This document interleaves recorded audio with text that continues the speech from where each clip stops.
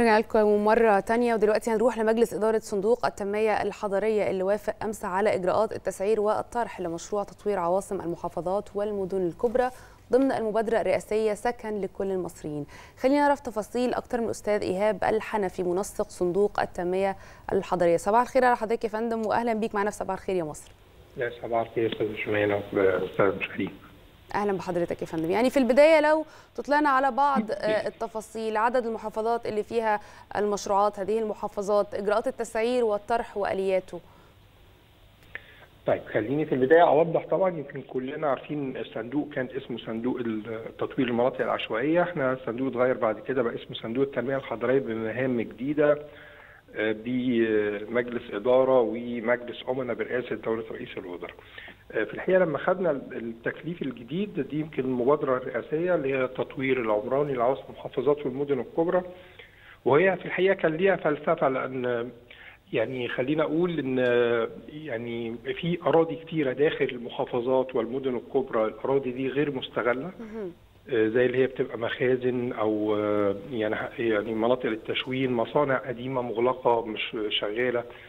بعض المصانع المش متوافقة مع إن هي تبقى وسط المنطقة السكنية.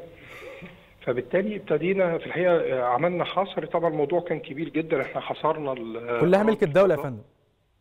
آه أراضي ملك الدولة أو القطاع العام يعني تعتبر كلها أراضي ملكية ملكية للدولة. ابتدينا في الحقيقة عملنا حصر في البداية لغاية ما وصلنا يعني طبعا القصة كانت كبيرة إن إحنا تحط ليها معايير ومساحه الأرض اللي نقدر نشتغل عليها سواء للإسكان أو إن هي تبقى مناطق خدمات عشان خدمة المناطق اللي حواليها. يمكن في بعض المناطق اللي أيام ما كنا صندوق تطوير العشوائيات ابتدينا يعني في مناطق إحنا نقلناها للمشروعات الجديدة اللي بناها الصندوق بالتنسيق مع المحافظات. فازاي ان إحنا يعني نستفيد من الاراضي دي وما يبقاش في عليها عشوائيات مرة أخرى. فهو دي بس أنا حبيت اوضح سريعا كده الفكرة جت منين. آه طبعا في جزئية ثانية إن في ناس كثيره في الحقيقة قالوا يعني الصندوق إحنا شغال على المناطق العشوائية بس طب الناس الطبقة المتوسطة أو الأعلى اللي هم حابين برضو عندهم ثقة في الدولة وحابين إن هم يتعاملوا مع الدولة بس داخل المدن والعواصم. إحنا يمكن في فرق شوية إن يمكن يعني الإسكان سواء هيئة المجتمعات أو الإسكان الاجتماعي بيختلف عننا شوية. إحنا يعني مشروعاتنا داخل عواصم المحافظات والمدن مش المدن الجديدة. فمن هنا في الحقيقة ابتدينا. إحنا شغالين في 23 محافظة. ده طبعا زي ما قلت لحضرتك بعد يعني حصر كبير جدا حصل للقطع الأراضي.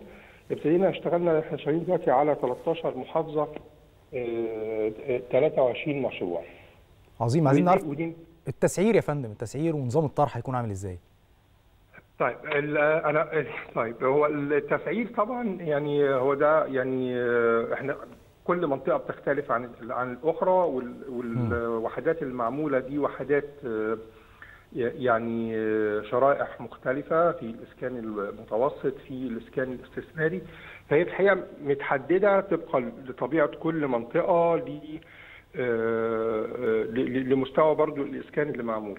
وإحنا في الحقيقة إحنا برضو في بروتوكول اتعمل يعني ما بين الصندوق و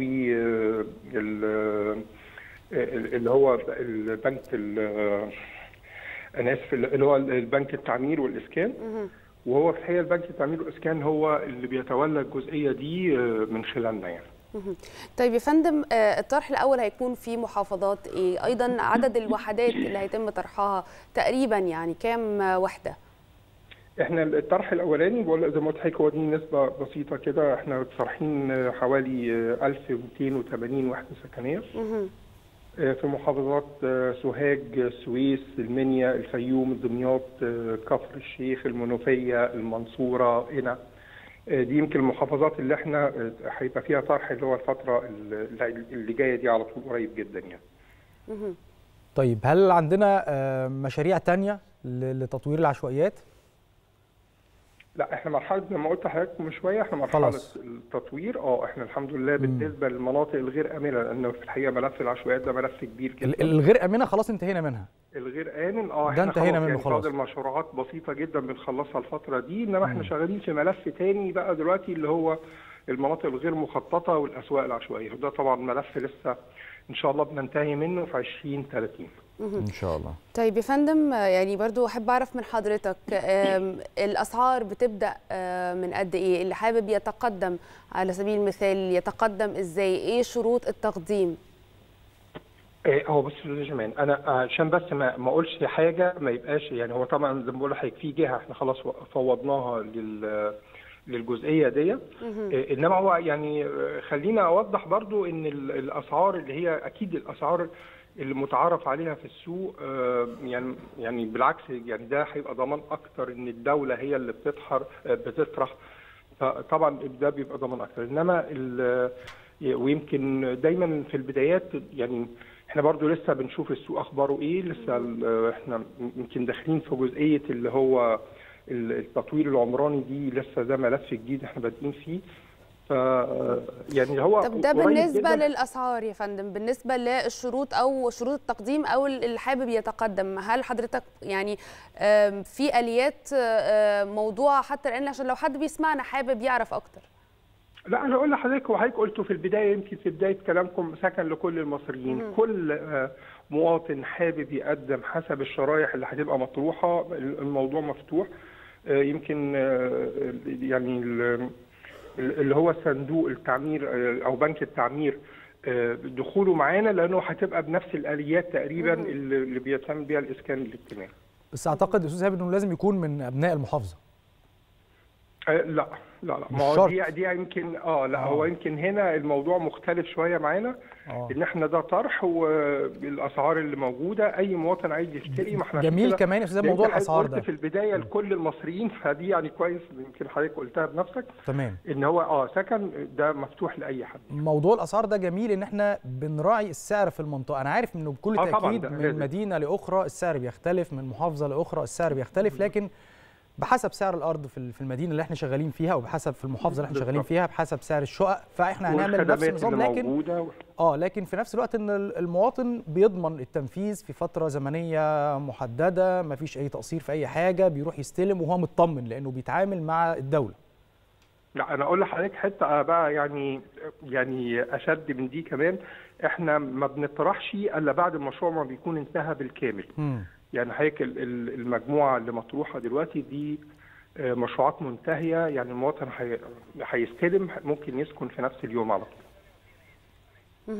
طيب آه، حابين نعرف برضو من حضرتك إيه هي المشروعات دلوقتي يعني القائمة لتطوير المدن والمناطق العشوائية يا فندم آه، ما ده قلت مع حضرتك هو إحنا شغالين حاليا في آه، 13 محافظة.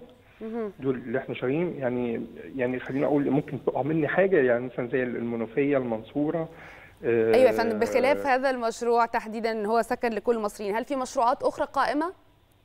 مشروعات للصندوق.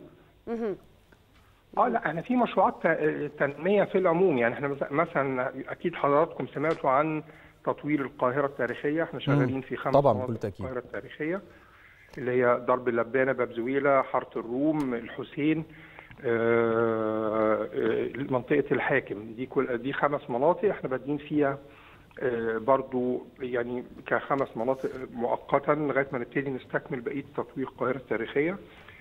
آه، في اللي هو حدائق الفسطاط مشروع حدائق الفسطاط آه، دي على 500 فدان. واعتقد برضو الناس كلها شافته دولة رئيس الوزراء كان لسه هناك يمكن من أسبوع.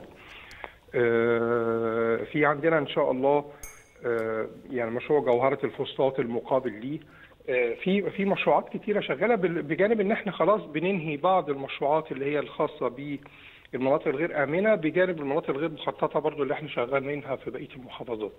شكرا جزيلا يا فندم. الأستاذ إيهاب الحنفي منسق صندوق التنمية الحضرية. ألف شكر ليك.